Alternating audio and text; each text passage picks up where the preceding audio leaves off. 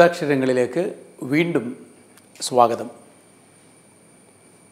ഇപ്പോഴത്തെ മാർപ്പാപ്പ ഫ്രാൻസിസ് മാർപ്പാപ്പയുടെ ഏറ്റവും സുന്ദരമായ കൊട്ടേഷൻ ഉദ്ധരണി ഏതാണെന്ന് ഒരു പത്രപ്രവർത്തകനോട് ചോദിച്ചപ്പോൾ ഒന്ന് ആലോചിക്കുക പോലും ചെയ്യാതെ അദ്ദേഹം പറഞ്ഞു ഏറ്റവും ഇഷ്ടപ്പെട്ട വാചകം ഇതാണ്. Holiness means allowing God to write your history നിന്റെ ജീവിത ചരിത്രം എഴുതാൻ ദൈവത്തെ അനുവദിക്കലാണ് വിശുദ്ധി എന്നുള്ളത്. ഇവിടെ എന്റെ കയ്യിൽ ഈ മാലാഖയുടെ തനിമയുള്ള ഫ്രാൻസിസ് പാപ്പായുടെ പ്രസംഗങ്ങളും ധ്യാനചിന്തകളും അടങ്ങിയ ചെറിയ പുസ്തകം.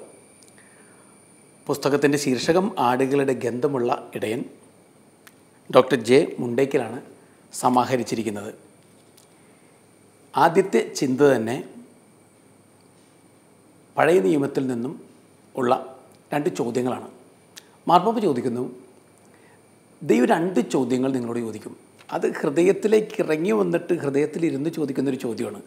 ഒന്ന് നീ ഇപ്പം എവിടെയാണ്? രണ്ടാമത്തെ ചോദ്യം നിന്റെ സഹോദരൻ എവിടെയാണ്? ഈ രണ്ട് കാതലായ ചോദ്യങ്ങൾക്ക് ഉത്തരം കൊടുത്തു കഴിഞ്ഞാൽ ഒരാളുടെ ആത്മീയ യാത്രയുടെ തുടക്കമായി. നീ ഇപ്പം എവിടെയാണ്? നീ തെറ്റിൽ അമർന്നിരുന്ന് ലജ്ജയോടുകൂടി ഏതൊരു വസ്ത്രത്തിനും നിന്റെ നഗ്നത മറക്കാനാവില്ല എന്ന മട്ടിൽ കുനിഞ്ഞിരിക്കുകയാണ്. നീ ഇപ്പോൾ എവിടെയാണ്? നീ ഇപ്പോൾ സ്നേഹത്തിന്റെയും കരുണയുടെയൊക്കെ വഴി വിട്ടിട്ട് നിന്റെ മാത്രമായ കടുകട്ടി സ്വാർത്ഥതയുടെ കംഫർട്ട് സോണുകളിൽ അലയുകയാണ്. നീ ഇപ്പോൾ എവിടെയാണ്? രണ്ടാമത്തെ ചോദ്യം എവിടെ നിന്റെ സഹോദരൻ? നിന്റെ സഹോദരനെ കൊല്ലാതെ കൊന്നിട്ട് അവനെ അഴുക്ക് ചേറ്റിലേക്ക് എറിഞ്ഞിക്കളഞ്ഞിട്ട് നീ നിന്റെ മോക്ഷം തേടി നടക്കുകയാണോ? എവിടെയാണ് നിന്റെ സഹോദരൻ? ഈ രണ്ട് ചോദ്യങ്ങൾക്കും ഉത്തരം ഒരാൾക്ക് നൽകാൻ സാധിക്കുമ്പോൾ തന്നെ അയാളുടെ ആത്മീയത പൂവിടുകയായി എന്ന് മാർപ്പ പറയുന്നു.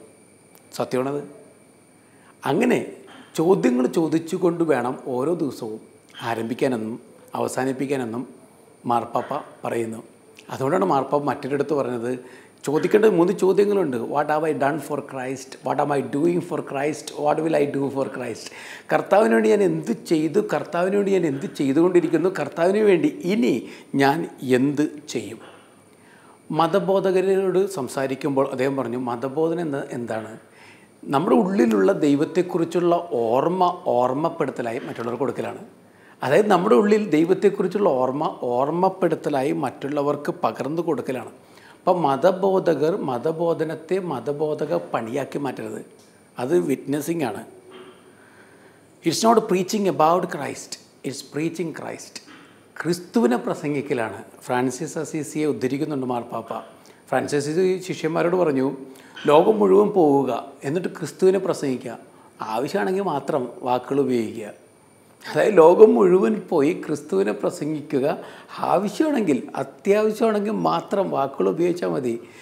Let your entire life be the preaching of Christ ആ ഒരു ചിന്തയാണ്. അത് കുറച്ചും കൂടി വ്യക്തമാക്കി കഴിഞ്ഞാൽ പ്രീച്ചിങ് എബൌട്ട് ക്രൈസ്റ്റ് കർത്താവിനെ കുറിച്ച് പ്രസംഗിക്കാൻ എളുപ്പമാണ്. കുറേ പുസ്തകങ്ങളിൽ നിന്ന് കുറേ ഉദ്ധരണികളൊക്കെ ശേഖരിച്ചാൽ മതി. പക്ഷേ പ്രീച്ചിങ് ക്രൈസ്റ്റ് കർത്താവിനെ പ്രസംഗിക്കണമെങ്കിൽ പതുക്കെ പതുക്കെ കർത്താവായിട്ട് ഒരാൾ മാറണം. അയാളുടെ നോട്ടം അയാളുടെ ഭാവം അയാളുടെ ചലനം അയാളുടെ ജീവിതം അയാൾ മൊത്തത്തിൽ കർത്താവായി മാറുകയാണ്. വേക്സ്ഫീൽഡിലെ വികാരി എന്ന പുസ്തകത്തിൽ വികാരിച്ച് താഴേക്ക് ഇറങ്ങി വരുമ്പോൾ ആളുകൾ പറയുന്നുണ്ട് കർത്താവ് കുന്നിറങ്ങി താഴേക്ക് ഇറങ്ങി വരുന്നത് പോലൊരു തോന്നലാണ്. അത്രയ്ക്ക് ആർദ്രമായ കണ്ണ് അത്രയ്ക്ക് സൗമ്യമായ മുഖഭാവം അത്രയ്ക്ക് കരണ കര കവിയുന്ന വിധത്തിലുള്ള പെരുമാറ്റ രീതികൾ ഒരാൾ കർത്താവായി മാറുമ്പോൾ സുവിശേഷ പ്രഘോഷണം താനെ സംഭവിക്കുന്നുണ്ട്. നവീകരണ പ്രസ്ഥാനങ്ങളെക്കുറിച്ച് മാർപ്പാപ്പ സംസാരിക്കുന്നു. അവരോട് സംസാരിക്കുമ്പോൾ അദ്ദേഹം പറഞ്ഞ പ്രധാനപ്പെട്ട ഒരു കാര്യമുണ്ട്. രണ്ട് അപകടങ്ങളുണ്ട് നവീകരണ പ്രസ്ഥാനത്തിൽ. ഒന്ന് ടു മച്ച് പ്ലാനിങ് ഒരുപാട് പ്ലാനിങ് നടത്തരുത്. അങ്ങനെ ഒരുപാട് പ്ലാനിങ് നടത്തുന്ന ഇവന്റ് മാനേജേഴ്സ് അല്ല നവീകരണ പ്രസ്ഥാനത്തിന് തലപ്പത്തിരിക്കേണ്ടവർ. അവിടെ തലപ്പത്തിരിക്കേണ്ടത് കർത്താവാണ്. നിങ്ങളുടെ പദ്ധതികളൊക്കെ കർത്താവിന് വിട്ടുകൊടുത്ത് കഴിയുമ്പോൾ അപ്പോൾ മാത്രമാണ് ഒരാൾ പുറപ്പാട് അനുഭവത്തിലൂടെ കാനാന്തേശത്തേക്ക് എത്തിച്ചേരുക. അല്ലെങ്കിൽ വഴി യാത്രക്കിടയിൽ സ്വന്തം കാനാന്തേശങ്ങൾ ഉണ്ടാക്കിയിട്ട് ഇതാണ് പാലും തേനും ഒഴുകുന്ന സ്ഥലമെന്ന് കരുതും. പക്ഷെ അവിടെ നിറഞ്ഞേക്കുന്നത് ഞാനാണ്. അതുകൊണ്ട് ദൈവത്തിന് പ്ലാനുകൾ വിട്ടുകൊടുക്കുക രണ്ടാമത്തെ കാര്യം അദ്ദേഹം പറയുന്നുണ്ട് കൃപാവരത്തിന്റെ ചീഫ് എക്സിക്യൂട്ടീവ്സ് ആണെന്ന് സ്വയം തെറ്റിദ്ധരിക്കാതിരിക്കുക. ഇത് മാർപ്പാപ്പ എടുത്തു പറയുന്നൊരു കാര്യമാണത്. എന്നിലൂടെയാണ് കൃപ വർഷിക്കുന്നത്. എനിക്കാണ് ദർശനങ്ങളുണ്ടാകുന്നത്. എനിക്കാണ് എല്ലാ തരത്തിലുള്ള വരങ്ങൾ ലഭിക്കുന്നത് എന്ന് പറയാതിരിക്കുക. You are not the chief executive of grace you are not the event manager of the acts of grace എന്ന് വളരെ ശക്തമായ ഭാഷയിൽ മാർപ്പാപ്പ പറയുമ്പോൾ സ്വീകരിക്കേണ്ട മെസ്സേജ് നമ്മൾ ഓരോരുത്തരും സ്വീകരിക്കണം.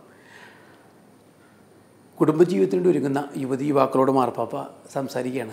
മാർപ്പാപ്പ പറയുന്നു മാരേജിൽ മൂന്ന് കാര്യങ്ങൾ ഓർത്തിരുന്നാൽ മതി. നമുക്കിതൊക്കെ ഓർത്തിരിക്കാൻ ഭയങ്കര എളുപ്പമാണ്. ഈ മാർപ്പാപ്പയുടെ പ്രസംഗങ്ങളുടെ ഒരു പ്രത്യേകത അതാണ്. എല്ലാ കാര്യങ്ങളും കൃത്യമായിട്ട് നമുക്ക് ഓർത്തിരിക്കാൻ പറ്റും. അപ്പോൾ യുവതി യുവാക്കളോട് അദ്ദേഹം പറയുന്നു മൂന്ന് കാര്യങ്ങൾ കുടുംബജീവിതത്തിൽ നിങ്ങൾ ഓർത്തിരിക്കണം. ഒന്ന് മര്യാദ വേണം. അതായത് നിങ്ങളുടെ ജീവിതത്തിലേക്ക് പ്രവേശിച്ച ഒരു ജീവിത പങ്കാളിയുടെ ജീവിതത്തിലേക്ക് കടന്നു കയറ്റി നടത്തരുത്. കുറച്ച് റെസ്പെക്റ്റ് വേണം. റെസ്പെക്റ്റോടുകൂടി അയാൾ നോക്കിക്കാണാൻ സാധിക്കണം. അയാളുടെ ജീവിതത്തിലെ എല്ലാ കാര്യങ്ങളെയും വിശകലനം ചെയ്യുമ്പോഴും മര്യാദ വിട്ട് സംസാരിച്ചുകൂടാ. പുരാണത്തിൽ ഓർഫിയൂസ് മരണത്തിൽ നിന്ന് ഭാര്യയെ മോചിപ്പിച്ച് മുന്നോട്ട് പോകുമ്പോൾ ഒറ്റ നിർദ്ദേശമേ നൽകപ്പെട്ടുള്ളൂ. തിരിഞ്ഞു നോക്കരുത്. തിരിഞ്ഞു നോക്കിയാൽ ഭാര്യ ഇല്ലാതാവും. ചില ആളുകളൊക്കെ സ്വന്തം ജീവിത പങ്കാളികളുടെ ജീവിതത്തിലേക്ക് തിരഞ്ഞ് നോക്കി പിന്നെ തിരഞ്ഞ് എല്ലാ അഴുക്കുകളും പുറത്തെടുത്ത് പിന്നെ അതിനെക്കുറിച്ച് പറഞ്ഞ് ജീവൻ നശിപ്പിക്കുകയാണ്. അങ്ങനെ ചെയ്തുകൂടാ എന്നാണ് മാർപ്പാപ്പ ഓർമ്മപ്പെടുത്തുക. രണ്ടാമത്തൊരു കാര്യം താങ്ക്സ് നന്ദി പറയാൻ പഠിക്കണം.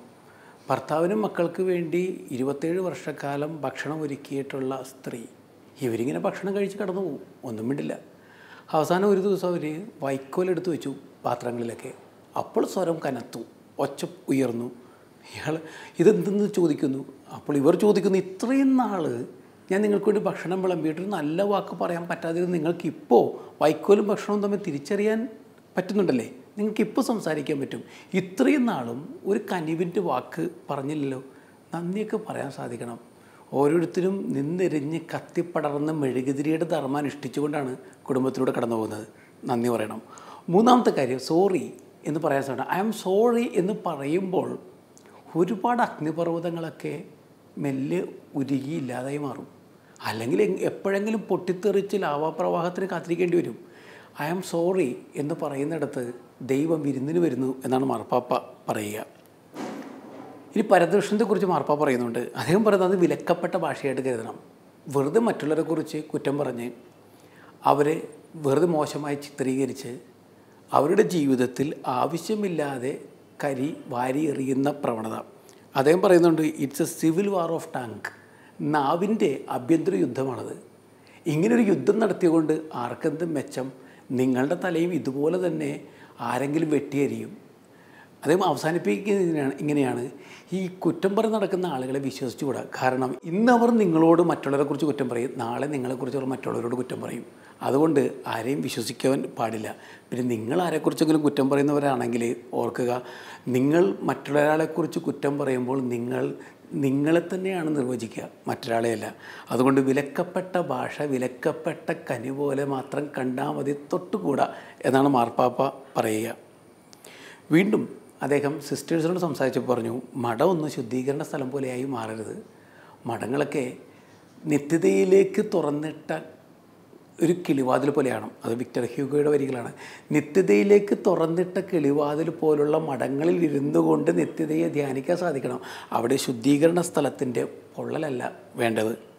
വീണ്ടും അദ്ദേഹം പറയുന്നു നമ്മളൊക്കെ യോനായ പോലെയാണ്. സ്വന്തം തിരക്കഥ ഉണ്ടാക്കുകയാണ്. അദ്ദേഹത്തിന്റെ വരികളിപ്പോൾ holiness means allowing the almighty to write your history നിങ്ങളുടെ ജീവിതത്തിന്റെ ചരിത്രം എഴുതാൻ ദൈവം നിങ്ങളെ സമീപിക്കുമ്പോൾ ദൈവത്തെ അനുവദിക്കലാണ് വിശുദ്ധി എന്ന് പറയുന്നത്. നമ്മളുടെയൊക്കെ പ്രശ്നം നമ്മൾ നമ്മുടെ തിരക്കഥ എഴുതിക്കൊണ്ടിരിക്കുകയാണ്. അത് ഹിറ്റാക്കാൻ വേണ്ടിയുള്ള ശ്രമമാണ്. അതുകൊണ്ട് നമുക്ക് ഭയങ്കര ടെൻഷൻ. ദൈവം തിരക്കഥ എഴുതട്ടെ. ദൈവം നിങ്ങളുടെ തിരക്കഥ എഴുതി അത് വിജയിപ്പിച്ചുകൊള്ളും. നമ്മൾ ഓരോ സമയത്ത് എൻട്രി പോയിന്റ് ആകുമ്പോൾ എന്റർ ചെയ്യുക എക്സിറ്റ് പോയിന്റ് ആകുമ്പോൾ ഇറങ്ങിക്കൊടുക്കുക. വലിയ ടെൻഷനൊന്നും പിടിക്കേണ്ട ആവശ്യമൊന്നുമില്ല. ദൈവം അറിയാതെ നമ്മുടെയൊക്കെ ജീവിതത്തിൽ ഒന്നും ഒന്നും സംഭവിക്കുന്നില്ല. So let the almighty write history for you. അത് അനുവദിച്ചു കൊടുക്കുക? അതിലെ സന്തോഷം എന്ന് പറയുന്നത്. ഇങ്ങനെ ജീവിക്കാൻ സാധിക്കുമ്പോൾ ദൈവത്തിന്റെ കൃപാവരം നിറഞ്ഞൊരു ജീവിതം നമ്മെ തേടി വരികയും യഥാർത്ഥത്തിലുള്ള സന്തോഷത്തിന്റെ രഹസ്യങ്ങൾ നമ്മൾ കണ്ടെത്തുകയും ചെയ്യുന്നുവെന്ന് മാർപ്പാപ്പ പറയുന്നു. അദ്ദേഹം പറയുന്നു സന്തോഷത്തിന്റെ പത്ത് രഹസ്യങ്ങളുണ്ട്. ഒന്ന് ജീവിക്കുക ജീവിക്കാൻ അനുവദിക്കുക. രണ്ട് മറ്റുള്ളവരോട് തുറന്ന മനസ്സും മഹാമനസ്കതയും ഉണ്ടാക്കുക. മൂന്ന് ക്ഷോഭമില്ലാത്ത ശാന്തമായ ജീവിതം നയിക്കുക. നാല് ആരോഗ്യകരമായ വിശ്രമവേളകൾ കണ്ടെത്തുക. അഞ്ച് ഞായറാഴ്ച കുടുംബത്തിന് വേണ്ടിയാണ്. ഈ ദിവസം ജോലിക്കാർക്ക് ശമ്പളത്തോടെയുള്ള അവധിയായിരിക്കണം. ആറ് ചെറുപ്പക്കാർ അന്തസ്സുള്ള ജോലികൾക്കായി ക്രിയാത്മകവും നൂതനവുമായ മാർഗങ്ങൾ കണ്ടെത്തുക. ഏഴ് പ്രകൃതിയെ ബഹുമാനിക്കുകയും സംരക്ഷിക്കുകയും ചെയ്യുക. എട്ട് നിഷേധാത്മക സമീപനം അവസാനിപ്പിക്കുക. ഒമ്പത് മതപരിവർത്തനത്തിന് നിർബന്ധിക്കരുത്. പത്ത് സമാധാനത്തിനായി പ്രവർത്തിക്കുക. മാർപ്പ പറയുന്ന ഒരു പുഴ പോലെ ഇങ്ങനെ ഒഴുകാൻ പറ്റണം. കെട്ടിക്കിടക്കുന്ന വെള്ളം കെട്ട വെള്ളമാണ്. ആ കെട്ട വെള്ളം തൊടുന്നവർക്ക് പോലും ചിലപ്പോൾ മരണം സംഭവിച്ചേക്കാം. അതുകൊണ്ട് ഒഴുകിക്കൊണ്ടേയിരിക്കുക. ഇങ്ങനെ ഒഴുകണമെങ്കിൽ ഞാൻ എവിടെ നിന്നാണ് ഒഴുകി തുടങ്ങിയെന്ന് ഓർമ്മ വേണം. അപ്പോൾ എന്റെ ഗലീലി ഏത് എന്ന് ഇടയ്ക്കിടയ്ക്ക് ചോദിക്കണമെന്ന് മാർപ്പാപ്പ ഓർമ്മപ്പെടുത്തുകയാണ് അതായത് ഞാൻ എന്റെ ക്രിസ്തുവിനെ കണ്ടെത്തിയ സ്ഥലമാണ് ഗലീലി. അല്പം നൊസ്റ്റാൾജിക്കായിട്ടുള്ള ഗൃഹാതുരത്വത്തിന്റെ ചിന്തകളോടുകൂടി നമ്മൾ ചോദിക്കേണ്ട ഒരു ചോദ്യമാണത് എവിടെ നിന്നാണ് ഞാൻ തുടങ്ങിയത്? വന്ന വഴി മറക്കരുത്. വന്ന വഴി മറക്കുന്നവന് പോകേണ്ട വഴിയും മറവിയായി മാറും. പിന്നെ വഴി തന്നെ അയാൾ മറന്നു പോകും. അതുകൊണ്ട് വന്ന വഴി ഓർക്കുന്ന ആളുകളാണ് ദൈവത്തിന്റെ വഴികളായി മാറുക എന്നൊരു ഓർമ്മപ്പെടുത്തൽ. ആരോ മാർപ്പാപ്പയോട് ചോദിക്കുന്നുണ്ട് അങ്ങ് സത്യത്തിൽ ആരാണ്? അങ്ങ് അങ്ങയെ തന്നെ എങ്ങനെ നിർവഹിക്കും? ഹോർജെ മാരിയോ ബർഗോളിയോ ആരാണ്? അദ്ദേഹം പറഞ്ഞ മറുപടി ശ്രദ്ധയാണ് ഏറ്റവും അനുകൂലമായ വിവരണം എന്താണെന്ന് എനിക്ക് അറിഞ്ഞുകൂടാ ഏറ്റവും അനുകൂലമായ ഒരു മറുപടി ഇതായിരിക്കും. ഞാനൊരു പാപിയാണ്. ഇതൊരു വാക്യാലങ്കാരമോ ഒരു സാഹിത്യ ചിത്രീകരണമോ അല്ല. ഞാനൊരു പാപിയാണ്. കരുണ കൊണ്ട് മാത്രം വീണ്ടെടുക്കപ്പെട്ട വെറും ഒരു പാപിയാണ് ഞാൻ.